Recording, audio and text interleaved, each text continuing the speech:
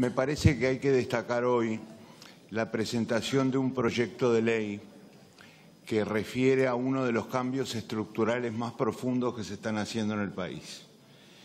que es el que llamamos inclusión financiera. Y precisamente estamos tratando eh, un proyecto de ley que complementa el original y que resulta absolutamente fundamental para avanzar por un proceso que asegura, por un lado, transparencia al sistema de pagos en el país, pero sobre todo acceso al sistema financiero a quienes por diversas razones en el pasado han tenido dificultades desde este punto de vista. Estoy hablando de personas de condición socioeconómica humilde, pero también de micro, pequeñas y medianas empresas. Hoy estamos presentando un proyecto que complementa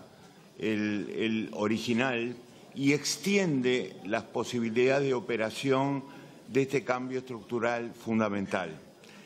Y que, por ejemplo, incluye ahora regímenes para pagos de grandes operaciones aprovechando economías de escala y de red, lo cual va a reducir costos del sistema financiero, plazos prudentes y gradualidad para la puesta en práctica de estas medidas, una equiparación de las exigencias en materia de transferencias entre instituciones de intermediación financiera y las de dinero electrónico, asegurando coordinación e interoperabilidad entre las mismas, un ajuste a la definición de dinero electrónico para que todos los uruguayos estén en condiciones de saber en qué consiste este dinero electrónico, cómo se emite, cómo se define y cómo eh, es utilizado en operaciones para retirar dinero efectivo del funcionamiento de la economía, lo cual además redunda en beneficio de la seguridad pública. Se habilita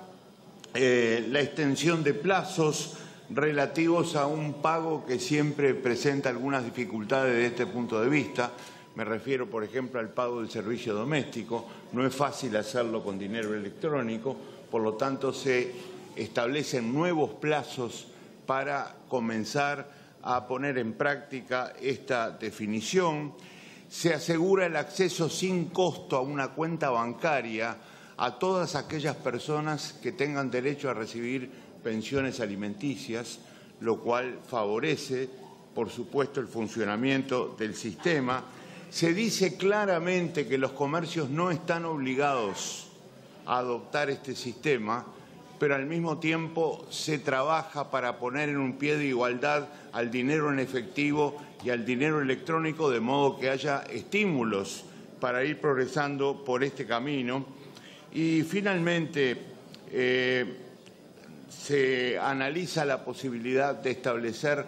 eh, plazos adecuados gradualidad, como dije antes, para que la puesta en práctica de estas medidas no tropiece con dificultades eh, precisamente al, ponerse en práctica y puedan funcionar normalmente. Creo que este es un cambio fundamental en la sociedad uruguaya, un cambio de estructura, un cambio profundo, un cambio en beneficio del modelo de crecimiento inclusivo que tenemos en el país. Muchas gracias. Gracias, señor ministro.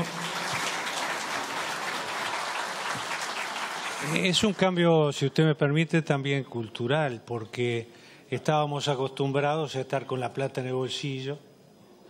y ahora nos tenemos que estar acostumbrando a un sistema que es mucho más, práctico, como es la utilización de una tarjeta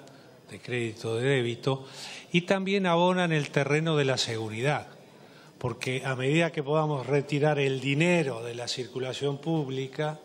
seguramente va a contribuir para una mayor eh, seguridad y evitar algunos de los delitos que sufre el país. Así que están los asuntos aprobados, señor ministro, y eh, el proyecto está firmado para ser enviado al Parlamento.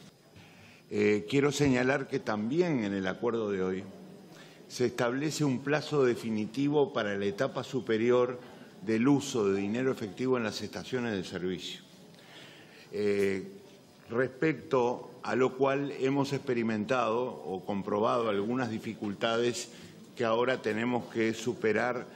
y disponemos de un mayor plazo. La etapa superior es la eliminación total del dinero en efectivo en estaciones de servicio durante las 24 horas del día en todo el país. Y el nuevo plazo es primero de mayo de 2017.